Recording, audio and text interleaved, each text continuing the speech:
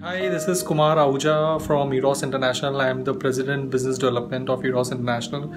Uh, I would like to talk about Xender. Xender is one of the best uh, file sharing app I have seen, I've, I've come across, and uh, I've met the management team of Xender. They are uh, they are uh, very helpful and uh, we are collaborating with them for supplying the best of Bollywood and Indian content.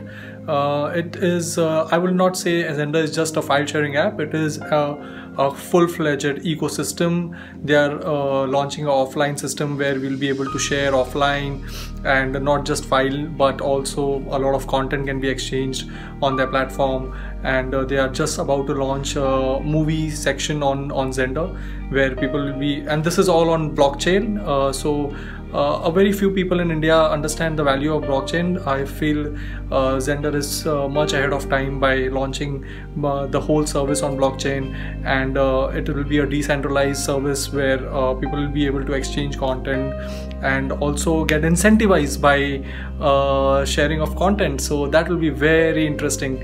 my good luck and my all support to Xender management and their team, and uh, we uh, we wish for the whole uh, a complete success to Xender for all their uh, innovative ideas and uh, future plans and roadmap they have uh, in the future. Thank you.